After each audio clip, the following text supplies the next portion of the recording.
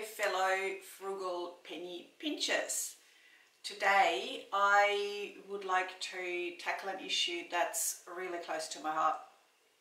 I've only just recently heard another report about how much food there is actually going to waste in Australia just because people buy too much, uh, a lot more than they need, or they buy stuff and then they put it in the fridge and they don't use it straight away and then it just gets all wilted and then it's no longer appealing and then it gets thrown out.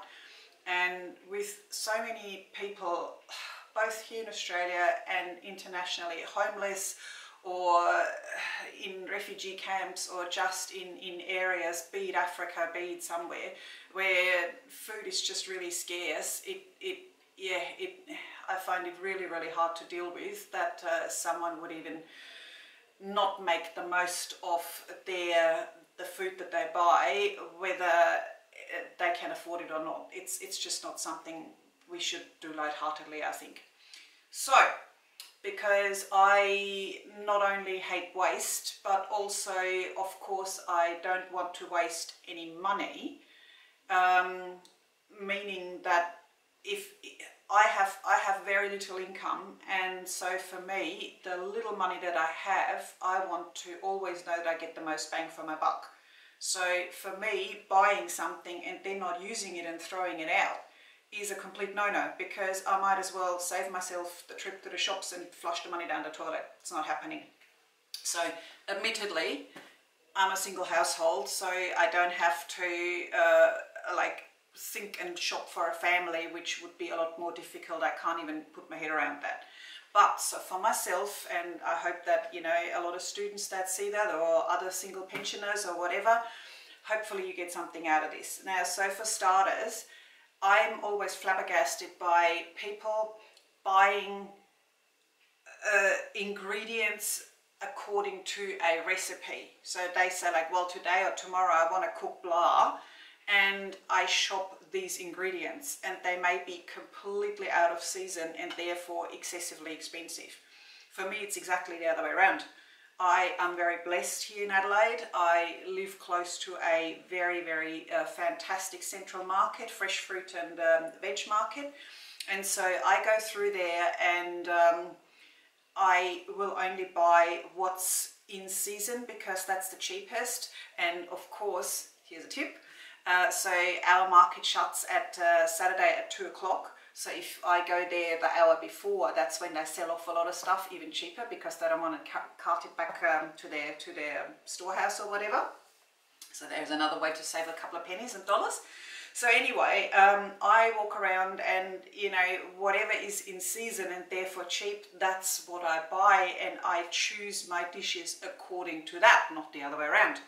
So anyway, um, then also uh, to keep things fresh as long as possible, I'm choosing this wonderful cauliflower today. So a lot of people would just put that in the fridge as it is. Well, that'll last you a day and then it'll probably go all like it starts to get brown and it starts to get really crinkly and starts to get dry and everything. So for starters, very, very important to know with any, um, any fruit and veg really, you want to remove the leaves because the leaves still absorb or draw moisture which is being drawn away from the main the main uh, product that you want to have. So you want to get rid of the um, the leaves that could be I'm, I'm not sure if oh God, I can't think of anything now. Anything that has leaves or greens you really want to try to get rid of it and uh, because that just um, uh, conserves any moisture in the actual thing that you want to uh, consume. So, and here's a trick that not a lot of people know, and I find it so, so valuable.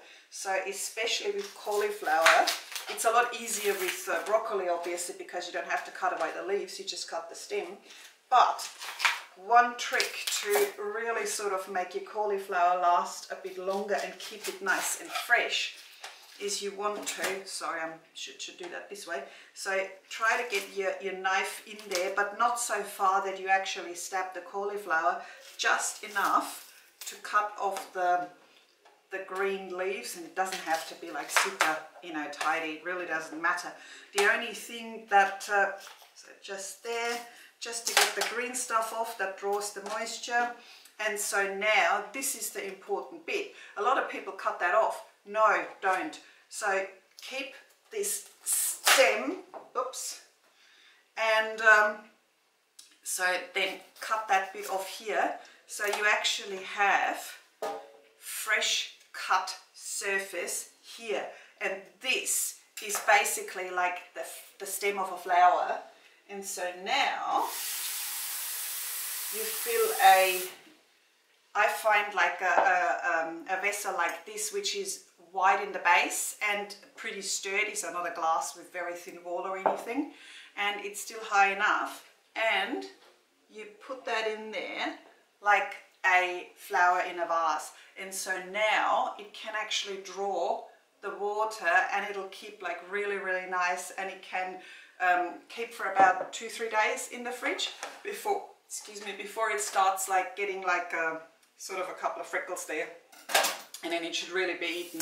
So, and also just one more, um, one more tip is that when people, people, they, they use half a zucchini, half a capsicum or bell pepper in the US, or like half of anything, uh, and then the rest goes back in the fridge. And guess what? It gets all wilted and all soft and everything, and it's no good because it loses all the vitamins. So when you've got onion, whatever it is, don't use just half of a piece.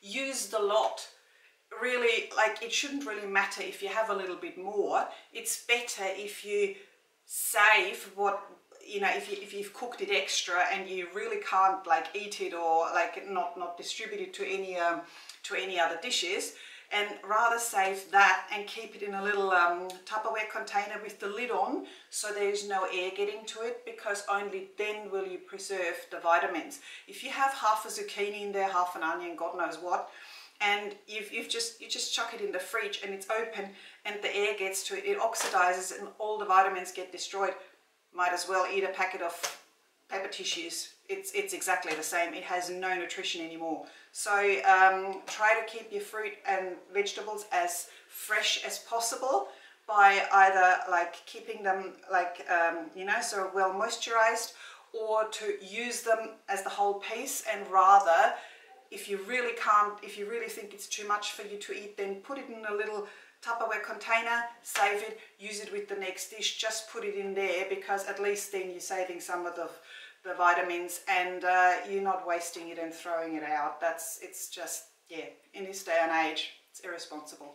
So thank you and I hope you have learnt a little bit and you will be able to make much better use of your fruit and veg and not waste as much anymore. Bye!